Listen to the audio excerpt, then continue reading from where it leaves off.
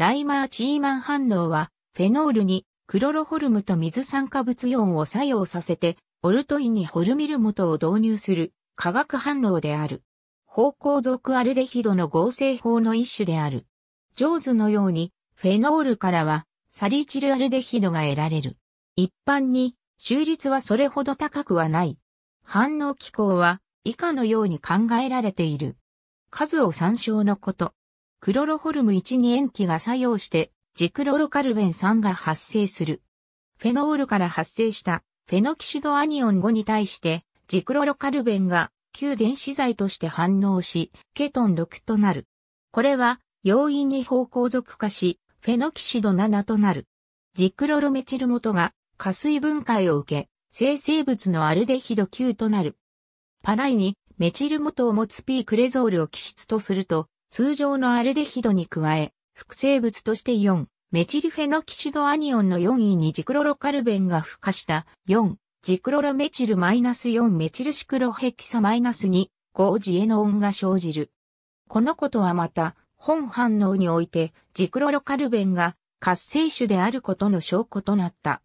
ライマー・チーマン反応は、1876年に経営、ライマーと F チーマンにより報告された歴史の古い反応である。この反応の報告には、ほぼ同姓同名で親戚でもあるカール・ルートビヒ、ライマーとカール・ルート・ビヒ・ライマーが関わっている。1845年生まれのケール・ライマーが、チームンと共に、この反応を詳細に研究し、彼が研究室を辞めた後に加わった1856年生まれの CL ライマーがこの仕事を仕上げた。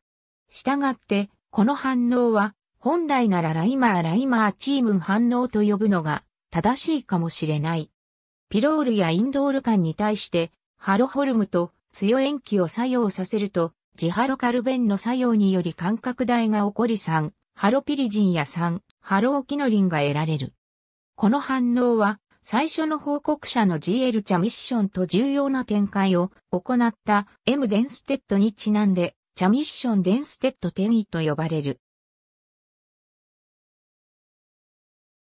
ライマー、K チームン、F バー、DTSCH、テム、ジズ、1876、9、824、1268、1285、創設、ウィンバーグ、H マイヤー、EWORG、リアクト、1982、28、2、チャミッション、GL、デンステッド、M、バー、ドイチュ、ケム、ジズ、1881、14、1153から1163、デンステト、M、ツインマーマン、J、バー、ドイチュ、ケム、ジズ、1885、18、3316から3319。ありがとうございます。